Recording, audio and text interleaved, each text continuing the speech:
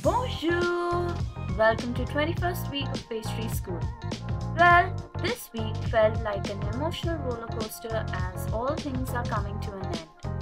Since this is the last week, we practiced more chocolate techniques simultaneously preparing for final practical examination.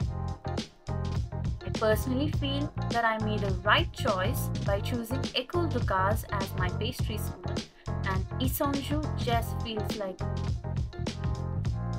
will cherish all these days spent and memories created for lifetime. We wrote a thank you note for our chef in different languages as our class belongs to different countries. Our chef tried to write in one of the languages and it was too sweet, just like the desserts. This was our final buffet. See you next week. Bye bye.